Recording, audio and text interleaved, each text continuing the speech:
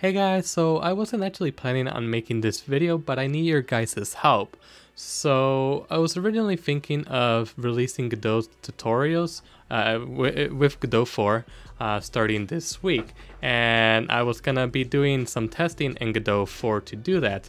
And I downloaded the latest version, which is Godot Beta 13, and for the life of me, I can't get it to work. And I need your help figuring out a solution to this so I can actually do some testing and start releasing some tutorials. So here I am, and I uh, opened up my Godot Beta 13 folder, and if I click on the Godot Beta 13 executable here, you will notice that the loading icon does its thing, but nothing is actually happening. The project manager doesn't actually launch. Now I can click on the console.exe and that does launch, but I can't actually do anything on the console itself.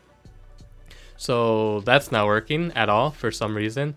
And I did do some testing where I downloaded other versions of Godot uh, betas and I noticed that from Godot Beta 7, so if I open it up and I actually launch the ex executable for Beta 7 here, that does actually launch the project manager, so that is working. But if I try to launch Beta 8 here and run the executable, you notice that this also, just like Beta 13, doesn't launch. It does absolutely nothing. And then the console does launch, but I can't do anything in it yet again.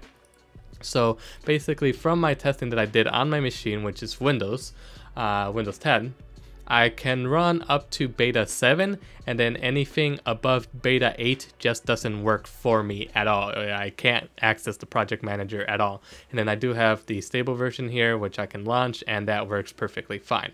So I need your help to try and figure out what the issue is here. If anyone else has run into this issue and has figured out a solution, I would really appreciate it if you let me know in the comments. But yeah, uh, if anyone knows uh, a potential uh, solution to this, uh, please let me know. And yeah, thank you so much. And I'll see you hopefully in uh, the next one, which uh, hopefully is soon rather than later, because you know I would like to get this fixed as soon as possible so I can actually start releasing some tutorials. But yeah, I appreciate any help. Thank you.